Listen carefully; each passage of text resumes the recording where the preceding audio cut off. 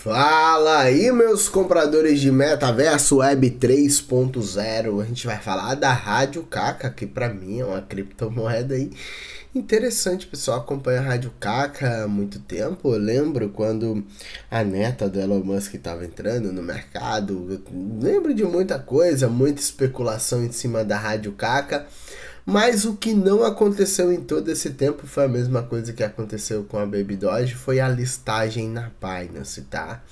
E outras listagens também, eu venho falando sobre isso há muito tempo. A Rádio Caca precisa ser listada em várias exchanges para poder explodir na alta, então o que eu espero é que a Rádio Caca tenha grandes movimentações no futuro, mas por enquanto está aí no mercado com dificuldades. Volume 4 milhões de dólares, market cap 54 milhões de dólares, ranking 541, tá bem estável lá na gate.io, até o topo histórico 7.334%. Cara, se acertar um trade de 7.334%. Eu vou falar uma coisa para você: é dinheiro, hein? É muita grana, é muita grana mesmo, tá?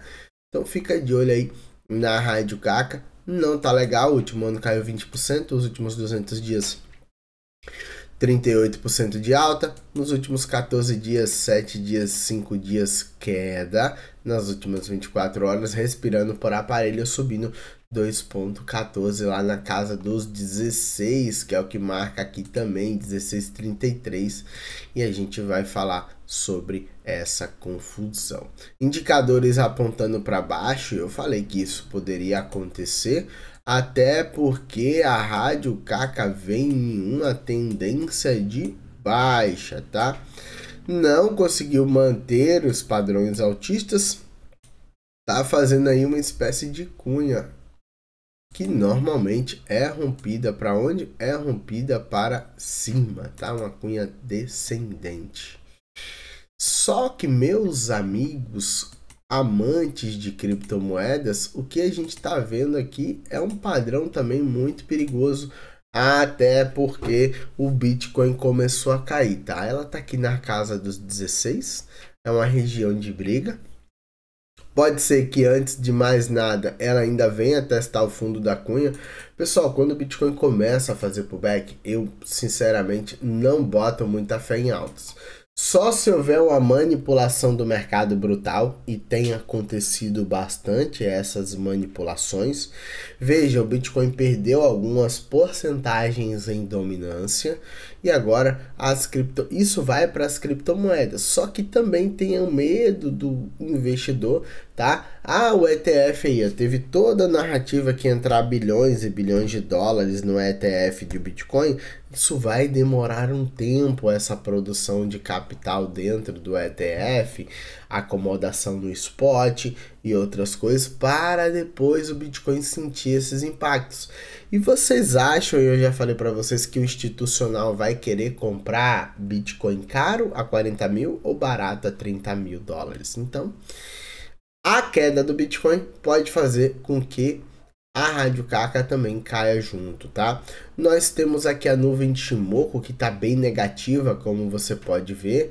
Você tem as médias móveis aqui em paralelo, ainda no semanal, e você teve aqui uma forte alta da Rádio Caca aqui da região dos 9, testou, vamos ver se agora ela faz um pivô de alta, tá?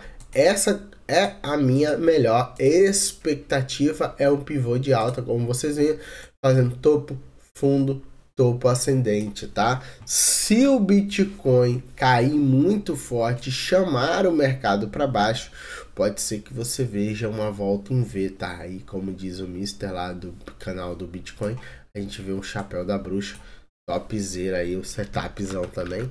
E aí a volta em V tá na cara de todos vocês e deixou, vai deixar os investidores em choque. O cara que não tem experiência, como eu vou levar para outro season, não tá me incomodando muito. Me dá uma possibilidade de comprar aqui uma quantidade, deixa eu ver que é uma quantidade que seja viável nessa região. Caso ela vá lá no 0,9 novamente, tá? 0,9. Caso ela vá lá no 0,9, deixa eu ver quanto daria um 25 dólares aí uns 100 dólares para ficar bom aí. Daria essa quantidade de rádio caca, um, é, 100 mil, 11 mil, 111 mil, 1 milhão de radiocacas, ó, interessante, tá? Aí tá barato, daria bom aqui uma comprinha nessa região. Então, vai ficando interessante o preço para quem quer aumentar o portfólio de radiocaca, tá? Eu não vou comprar muito mais do que isso, porque eu já tenho uns 2 milhões, quase 3 milhões de radiocaca. Vamos ver como que eu vou me comportar no futuro. Até porque se ela subir esses 7 mil por cento, eu ganho muita grana. Então tá interessante, tá? Essa cunha aí vai seguindo no mercado. No gráfico diário, ela fica mais visível, você consegue vê-la trabalhando o topo da cunha em tempo integral. Tem alguns ajustes para fazer aqui, mas é besteira. E aí você vê ela trabalhando abaixo de todas as médias móveis. E se você jogar no Ventimoco, também está negativa.